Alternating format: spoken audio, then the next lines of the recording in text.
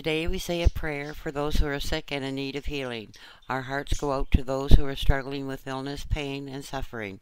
We pray for comfort and strength during this difficult time. May you feel the presence of God's love surrounding you, bringing peace and hope. May you find solace in the knowledge that you are not alone in your struggles. We ask for healing and restoration both physically and emotionally.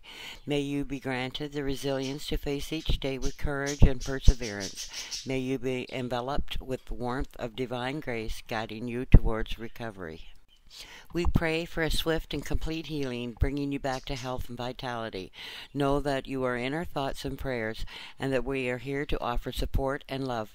May you find comfort in the knowledge that you are cherished and valued. We send our love and best wishes for a speedy recovery.